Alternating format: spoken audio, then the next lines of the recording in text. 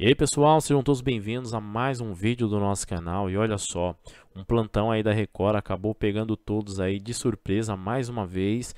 E dessa vez agora veio a notícia bombástica onde um apresentador acaba de falecer infelizmente, ele que é de grande sucesso aí, nos canais. Ele que morreu neste domingo e foi internado com Covid-19 e teve seu quadro de saúde muito agravado. Ele acabou não resistindo, morreu aos 45 anos de idade.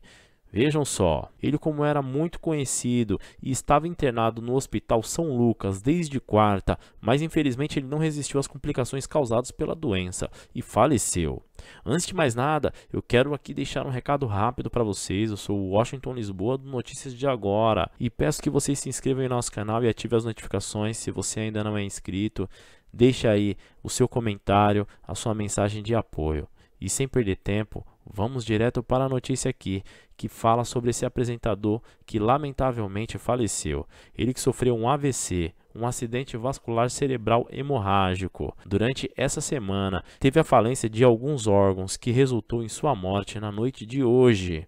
Vejam só, o apresentador que estamos falando aqui, ele que era muito conhecido na região, o Big, era apresentador de um programa independente na RIC, Record TV, e também dono do Big House Garage, estabelecimento dedicado a motociclistas, mas que era frequentado por todo tipo de público.